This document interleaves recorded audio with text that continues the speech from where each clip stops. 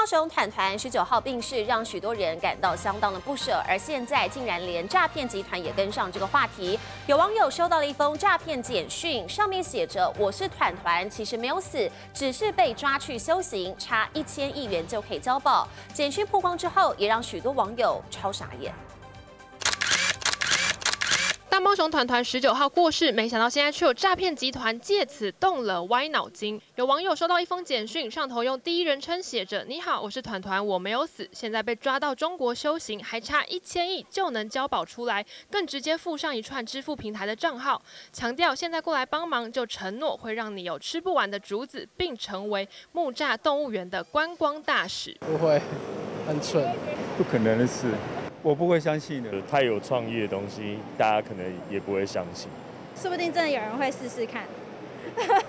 也有网友很不买单，怒轰很烂的诈骗手法是想钱想疯了吗？还有人突破盲点反问：为什么我要有吃不完的竹子？难道团团成精了吗？还会使用手机？甚至有人开玩笑说，动物园那些动物都是工读生吧？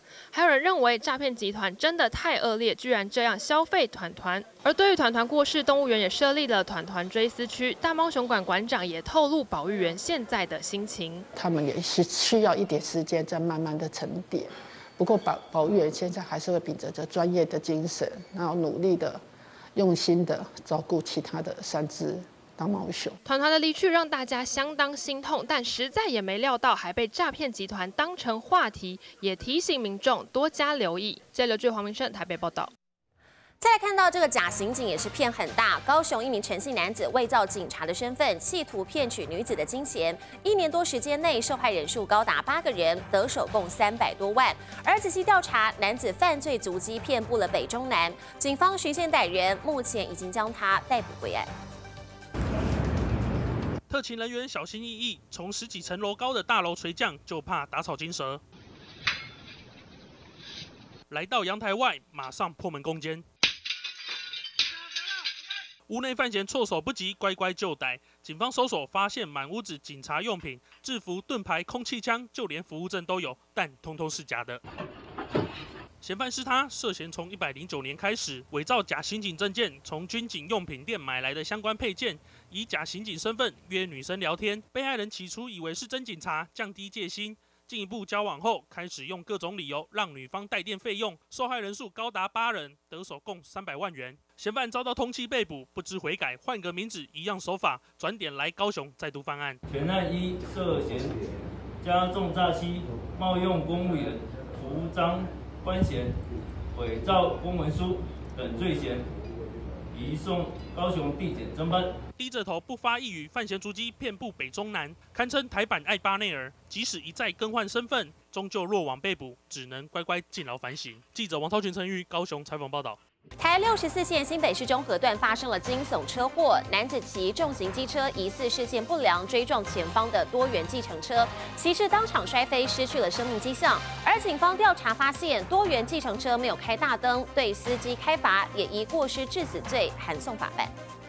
台六四线车速快，深夜十点五十七分，夜色昏暗，二十七岁的畸形男子骑重型机车高速撞上前方黑色轿车，强大撞击力道，男子整个人弹飞倒地不起。右侧车道的另一名驾驶目击惊悚车祸，立刻停车报案。没刹车直接撞上去，他追撞人家屁股。啊，另外一台车呢？另外一台车在前面开车。那那个人你有你有看他伤势怎么样吗？就已经失去意识。我那时候下去的时候摸已经都卡了。救护人员赶到现场进行 CPR 急救，但男子最后还是宣告不治。被追撞的多元计程车后保险杆整个撞凹，连后车厢也溃缩变形。车上当时除了驾驶之外，后座还有另外一名乘客都受到严重惊吓，幸好没有受伤。警方调阅行车记录器发现，车祸发生前一秒刚好旁边一盏路灯变暗，而且多元计程车虽然被追撞，事发当时没开大灯，疑似就是因为这样视线不良酿祸。针对多元计程车司机。先开出一张一千两百元到三千六百元的罚款罚单，过失致死的部分函送法办。车祸发生后，现场车流一度回堵超过两公里，详细事发原因还有待车祸事故鉴定。机车骑士爸妈得知消息，伤心欲绝，向警方表示，儿子平常是上班族，晚上从中和的朋友家要回板桥，没想到居然碰上意外，从此天人永隔。记者刘思周宗林新北市报道。今天凌晨三点多，台中一辆轿车失控撞进了家具行，现场一名张姓女子自称她是驾驶，说刚下班要回家路上身体不舒服，又开得太快才会酿祸。但警方深入追查，发现，在事发当下从驾驶座下车的是一名男子，现在就要厘清这起车祸真正的驾驶到底是谁。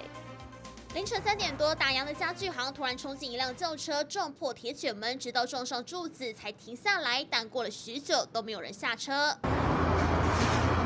沙发展示品被撞到东倒西歪，现场满目疮痍，满地的碎玻璃，巨大撞击声响也吓醒睡梦中的业者。很大声的，哦，吓醒。对啊，看到一台白车子在铁门的里面啊，在家具行里面。啊，人我是没看到啊。哎，我当时我们有三个走过去看的时候是。当时是没有人走出来。事发在二十二号凌晨三点多，台中环中路跟大富路口，驾驶一度失踪，找不到人，直到警方来了，坐在门口的女子这才说她没有酒驾，车子是她跟朋友借来开的。哎，是要回去还是什么？今天我要回家，刚下班，然后冷又不舒服，开太快。警方一度以为女子就是肇事驾驶，但调了监视器，却发现案外案，从驾驶座下车的明明不是她。张姓女子自称为驾驶人，但警方随即调阅监视器，发现该驾驶人。为男性。事发当下，家具行已经打烊休息，没有酿成更大意外，只有造成财务损失。但这起车祸真正驾驶到底是谁开的车，是否有涉及冒名顶替，警方也要一并查清楚。这潘醒王英章台中报道。